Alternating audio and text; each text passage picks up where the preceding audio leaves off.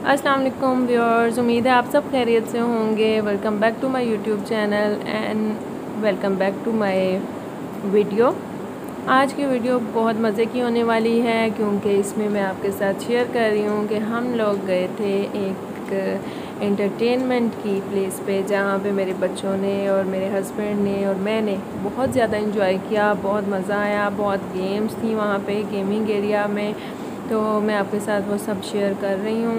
देखें, यहाँ पे मेरी बेटी ये गेम खेल रही है और बहुत ही इंजॉय कर रही है। इस तरह की चीज़ों से, इस तरह की गेम्स से बच्चों में बहुत ज़्यादा कॉन्फिडेंस आता है और उनमें खुद से काम करने की और कि मैं भी कुछ कर सकता हूँ तो इस तरह की सलाहियत पैदा होती है।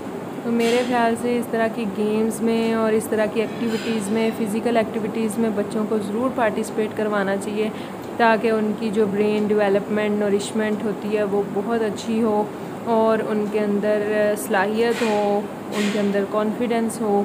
तो ये देखें, ये मेरी बेटी यहाँ पे खेल रही है, बहुत इन्जॉय कर रही है, बहुत मज़ा आ रहा है हमें और होप सो आप भी इस वीडियो को देख के ज़रूर इन्जॉय करेंगे। आपके लिए मेरे सबसे पहले सिर्फ़ ये एक रिक्वेस्ट होती है कि इस वीडियो को लाइक कर दें और मेरे चैनल को सब्सक्राइब करें और इस वीडियो को अपनी फ्रेंड्स एंड फैमिली के साथ भी शेयर करें।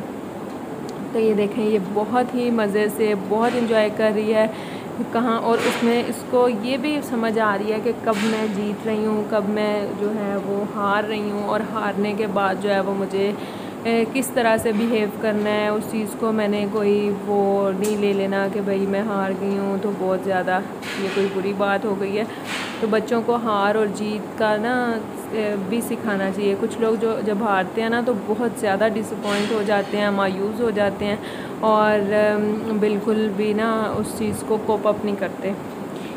तो ये इन चीज़ों का लेसन होता है कि अगर आप गेम्स हैं गेम में आप जीतते भी हैं, हारते भी हैं अच्छा भी होता है, आपके साथ बुरा भी होता है, लेकिन आपने उसको किस तरह से हैंडल करना है? उस हार को आपने किस तरह से हैंडल करना है और उससे क्या सबक सीखना है और उसको कैसे आपने जीत में बदलना है। तो ये चीज़ें सारी बहुत ज़रूरी होती हैं।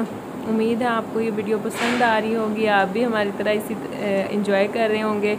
और अगर आपके बच्चे ये वीडियो देख रहे हैं तो वो भी ज़रूर कह रहे होंगे कि ममा हमने भी यहाँ पे जाना है।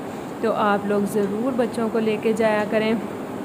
आई नो दैट कि आजकल मुल्क के हालात बिल्कुल भी ठीक नहीं हैं। बहुत ज़्यादा महँगाई हो गई है, बहुत तंग हैं हम सब लोग, लेकिन ऐसी जगहों पे और थोड़ी सी इंटरटेनमेंट के बाद हम लोग रिलैक्स फील करते हैं। हम उन सारी फ्रस्ट्रेशन से जो हमारे अंदर इस महँगाई ने भर दी है, उससे हम निकल आते हैं। तो ये ऐसी गेम्स और एक्टिविटीज़ बहुत ज़रूरी होती हैं हमारे लिए भी और हमारे बच्चों के लिए भी। तो आप लोगों ने इस वीडियो को लाइक ज़रूर करना है चैनल को सब्सक्राइब करना है और मुझे अपना फ़ीडबैक ज़रूर देना है। मिलते हैं नेक्स्ट वीडियो में, तब तक के लिए अपना ख्याल रखिएगा, अपने प्यारों का ख्याल रखिएगा, मुझे दुआओं में याद रखिएगा। अल्लाह हाफिज़।